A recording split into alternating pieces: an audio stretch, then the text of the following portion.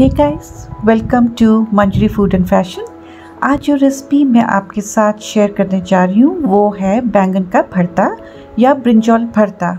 सबसे पहले मैंने दो बड़े बैंगन लेकर उनको अच्छी तरह धोकर उनके ऊपर ऑयल लगा के मैंने उनको अच्छी तरह रोस्ट कर लिया है। आ, उसको जो है तीन से चार मिनट रोस्ट करने के बाद मैंने एक तरफ़ तीन चार बड़े प्याज हरा धनिया जिंजर गार्लिक हरी मिर्ची, टमाटर, इन सबको मैंने धोकर अच्छी तरह से काट लिया था। मैंने जो है जो भरता है, इसको आप परांठे के साथ खा सकते हैं रोटी के साथ खा सकते हैं।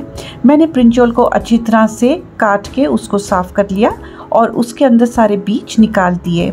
मैंने एक तरफ़ कढ़ाई ली, उसके अंदर मैंने ऑयल डाला, उसके अंदर जीरा डाल दिया एक बार मेरा जीरा जब थोड़ा सा रोस्ट हो गया तो उसके अंदर जो मैंने प्याज काटे थे, वो मैंने इसमें डाल दिए। और मैंने इसको तब तक फ्राई किया जब तक ये लाइट पिंक कलर का नहीं हो गया। एक बार अच्छी तरह होने के बाद, फ्राई होने के बाद मैंने इसके अंदर गार्लिक डाला, जिंजर डाला, हरी मिर्ची डाली और इसको फिर से एक बार से मैंने पका लिया। एक बार जब ये अच्छी तरह पक गया तो कुछ स्पाइसेस जो मैंने पहले से ही तैयार करके रखे थे जिसमें नमक, मिर्च, हल्दी, गरम मसाला, कसूरी मेथी जीरा पाउडर, उसको जो है मैंने इसके अंदर मिक्स कर दिया और इसको एक बार अच्छी तरह से मैंने फ्राई कर लिया है। एक बार अच्छी तरह फ्राई होने के बाद इसके अंदर जो है मैंने टमाटर डाल दिए। इसमें मैंने जो है चार बड़े टमाटर का यूज़ करा है और मैंने साथ में फ्रोज़न मटर भी मैंने एक कटोरी डाले हैं। भरते के अंदर मटर का टेस्ट बहुत ही अच्छा लगता है और एक बार मैंने इनको अच्छी तरह रोस्ट करने के बाद जो मैंने ब्रिंजॉल छील के अच्छी तरह से काट लिए थे, उसको मैंने अंदर मिक्स कर दिया है। आप ट्राई कीजिए कि जो अगर ब्रिंजल के अंदर कभी बीज होते हैं तो आप उनको निकाल दीजिए। और इसके बाद फ्राई करना बहुत ही ज़रूरी है।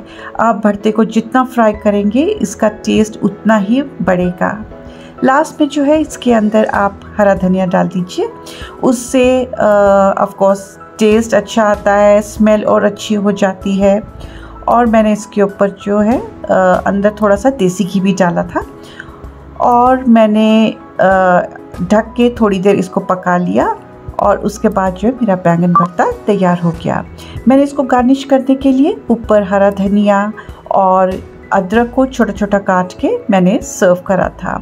इसको आप रोटी, परांठा, रुमाली रोटी लच्छा परांठा, चावल, पुलाव किसी के साथ भी आप सर्व कर सकते हैं। बहुत ही टेस्टी, बहुत ही इजी तरीके से मैंने आपको सिखाया है ब्रिंजॉल भरता। तो गाइस प्लीज़ इसको ट्राई कीजिएगा। और मेरे चैनल को प्लीज़ सब्सक्राइब कीजिए लाइक कीजिए और शेयर कीजिए। कोई और रेसिपी आपको देखनी है तो मुझे ज़रूर बताना।